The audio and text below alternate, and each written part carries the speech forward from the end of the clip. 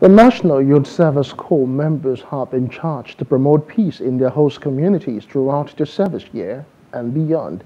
They are to present themselves as good ambassadors and not to engage in any act capable of bringing the image of the Corps to disrepute.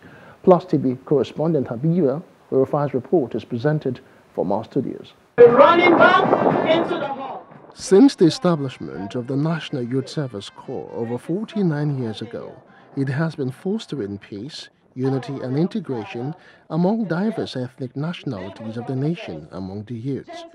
Speaking at the closing ceremony for the 2022 Batch Peace Stream 1 Corps members in Kaduna, the state NYSC coordinator, Odoba Abel, charged the deployed Corps members to integrate with the members of their host communities, as well as understand, respect, and appreciate their culture and tradition, which in turn will promote peace and national integration.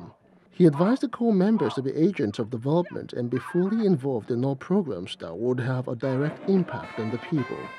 He also called on employers of Corps members in the state to accept members posted to them, as a rejection is against the spirit of the scheme. To do your best to integrate with members of your host community.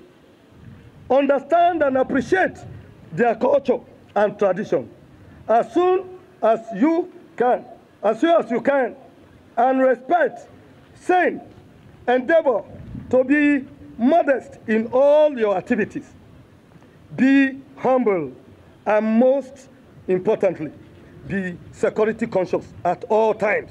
Also, Kaduna State Governor Nasir El Rufai, was represented by the Commissioner for Youth Services and Social Development, Hafsat Mohammed Baba, encouraged the Corps members to partner the state government at ensuring a violent-free and peaceful society.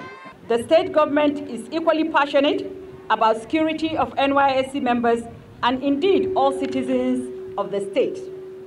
The government, in collaboration with security agencies, will do our best to ensure that you feel safe in the state. Some of the Corps members expressed their delight and promised to put in their best at their various places of primary assignments.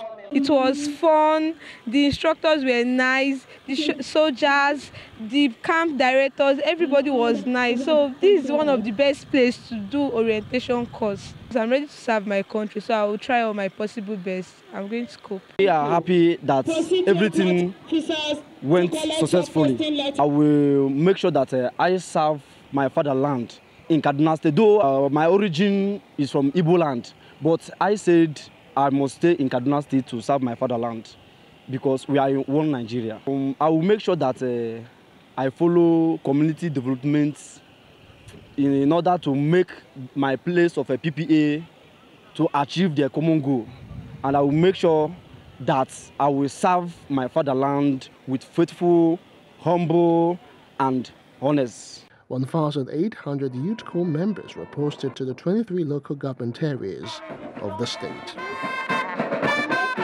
Please do subscribe to our YouTube channel and don't forget to hit the notification button so you get notified about fresh news updates.